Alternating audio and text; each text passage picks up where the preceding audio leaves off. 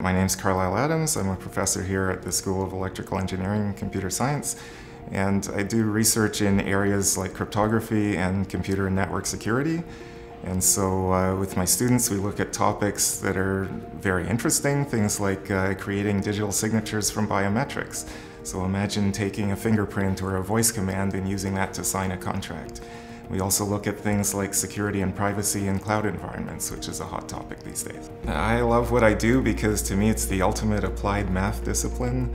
Uh, so you take what might look like dry mathematical formulas or theorems and use them to create algorithms that allow you to protect data from the bad guys, or protect somebody's privacy, or even create digital money. It's, uh, it's amazing what you can do.